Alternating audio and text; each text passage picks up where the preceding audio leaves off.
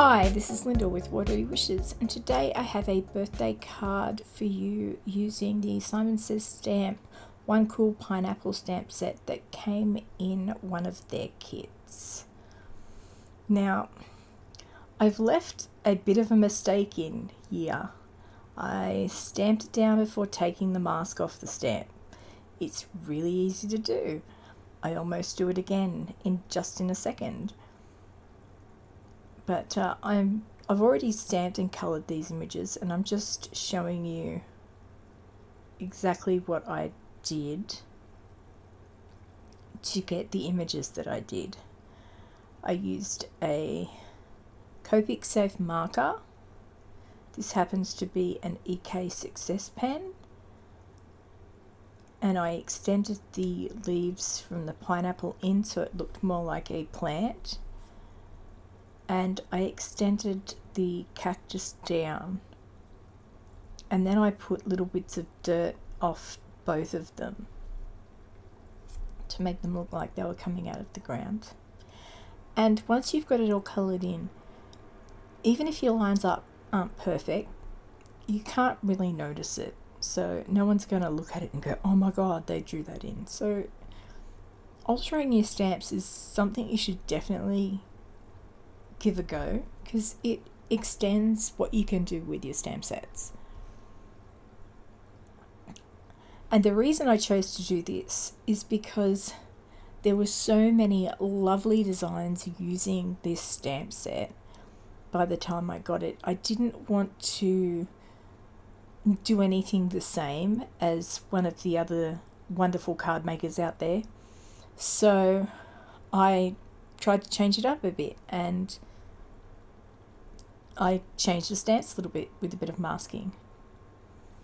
Now, I've sort of set out where I wanted everything to go and then I've masked off the top portion because I'm going to ink blend with some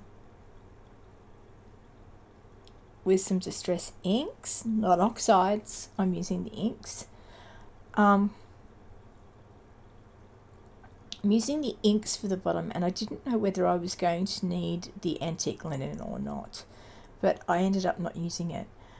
The inks I did use were Vintage Photo and Tea Dye, Tea Dye being the lighter one and I was just checking them against the the Copic coloured dirt on the stamped images.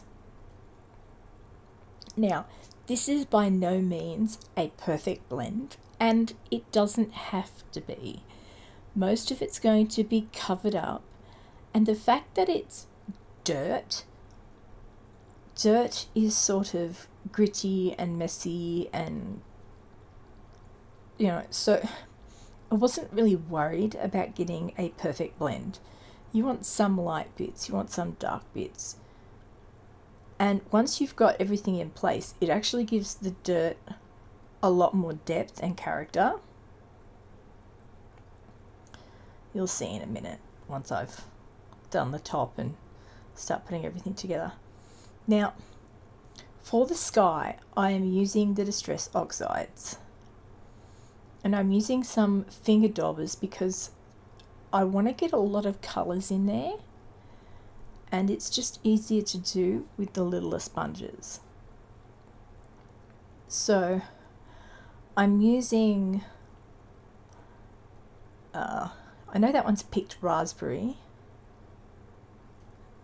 The one before that, the yellow, is wild honey. It's a sort of a very warm yellow and I'm going over it with the picked raspberry to give like an orangey tone.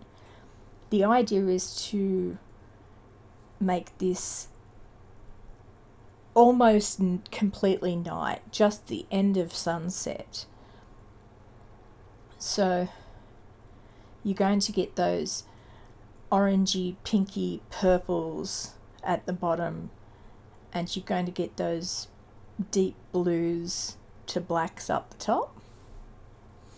And I'm actually going to add some splatter and some stars and even a meteorite at the end.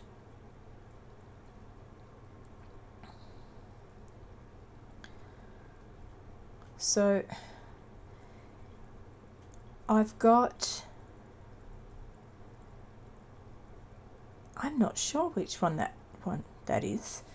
Hang on, I'll just grab it and have a look. Okay, now that I stopped recording and came back, I had a quick look in my stash and it is Seedless Preserves and Blueprint Sketch. And then I used the black soot up the top. And I extended the blue up there so that it just blended in better because I want it to sort of look like it's it's sort of going into nighttime. So that deep blue really sells it. Now I'm just going over everything again and then pulling the post-it note tape up tidying my desk up a tiny bit Oh, and you'll notice the camera is very different and there is a time code up in the left hand corner that's upside down. That's because I have to spin my footage around um, regardless of what camera I'm using. And this is a little sports camera because I still haven't got my my Canon camera back from Canon. It, I haven't even heard back from them yet and it's been it's been nearly four weeks. So, still waiting on that. Okay, now I used my memento marker to trace around the outside, and you always want to do that from the back of the coloured image because otherwise you're going to have tears. You're going to get a big black mark right through your colouring and it's not pretty. Now I'm using the Copic marker that I used to colour in the bottom of the stamped images and just grounding them a bit into that piece. And now I'm sticking the images to each other and some of them in the back. And I'm going to pop some of them up on some uh, some thin foam foam tape. Um, I got mine from Amazon. I can no longer get it from there, but um, I've heard the Simon Says stamp uh, Big Mama foam roll is sort of very very similar to what I've got. So had a lot of difficulty with foam tape. It was just one of those crafting moments when nothing quite wants to work exactly right for you. But I got there in the end.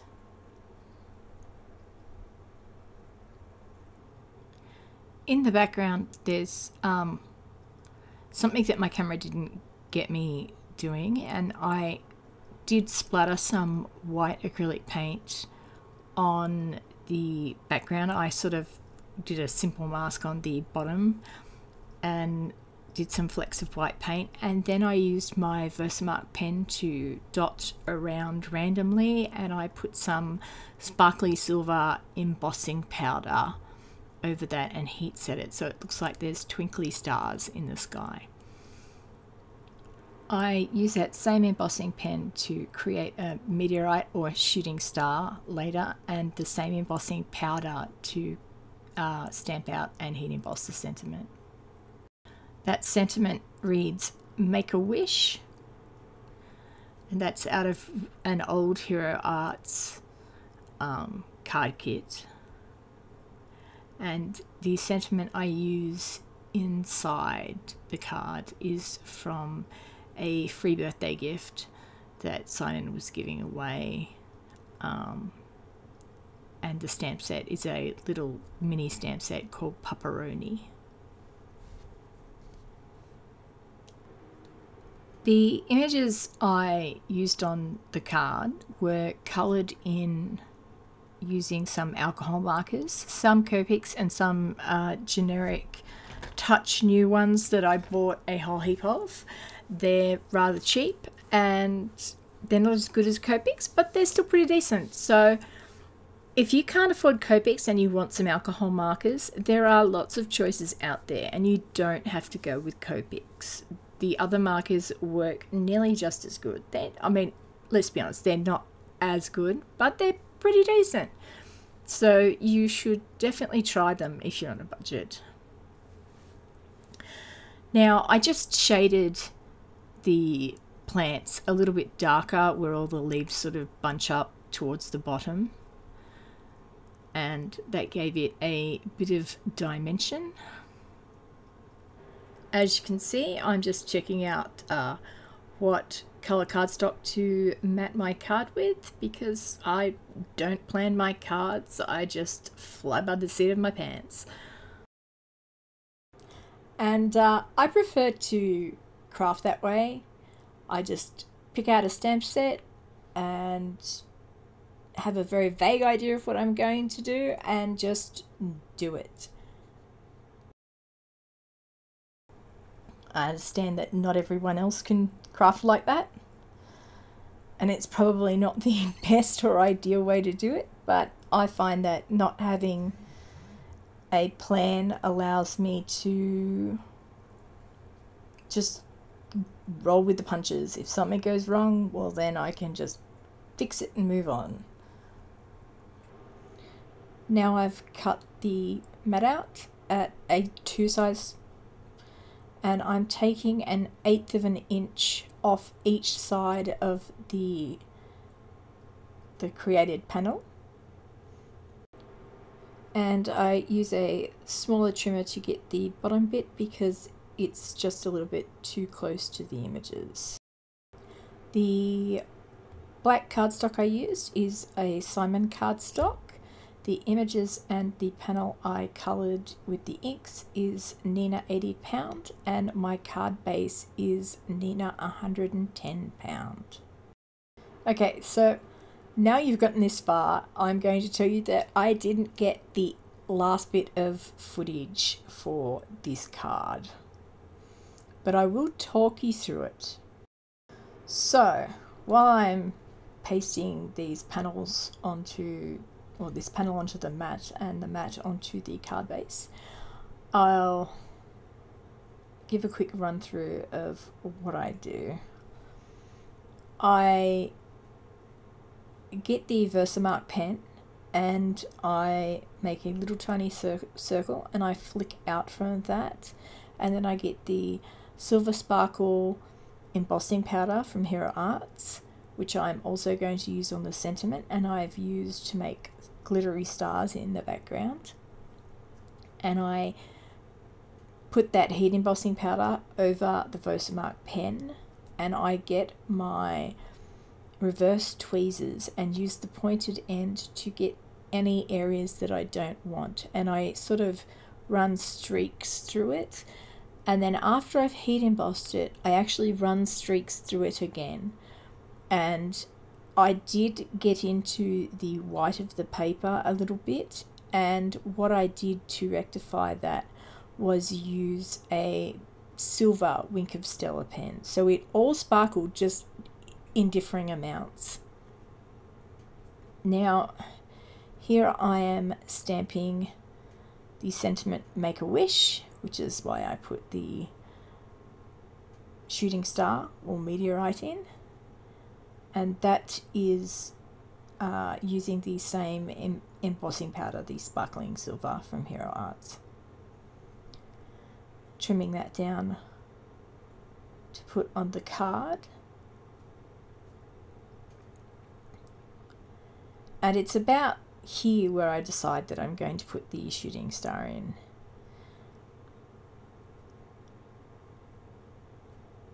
And it probably would have been okay without the shooting star, but I just wanted to do extra sparkly.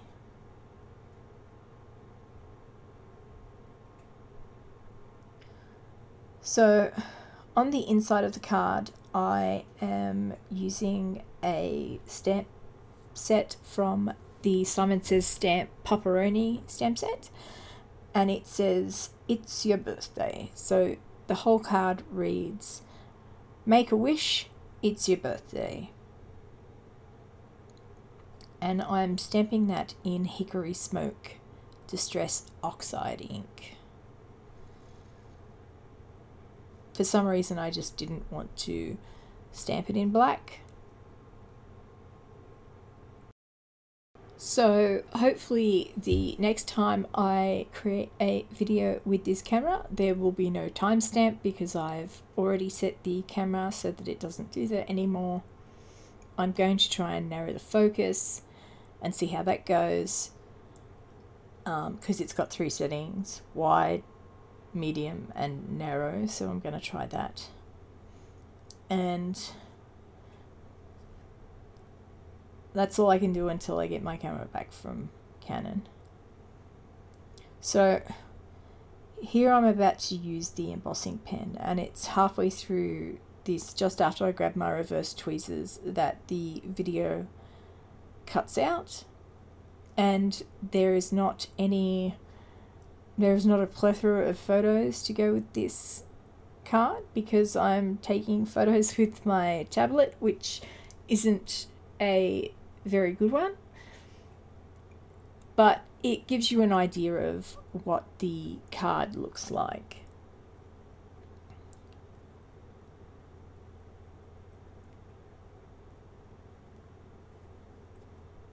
And this sort of gives you a small idea on exactly how I got this shooting star meteorite effect.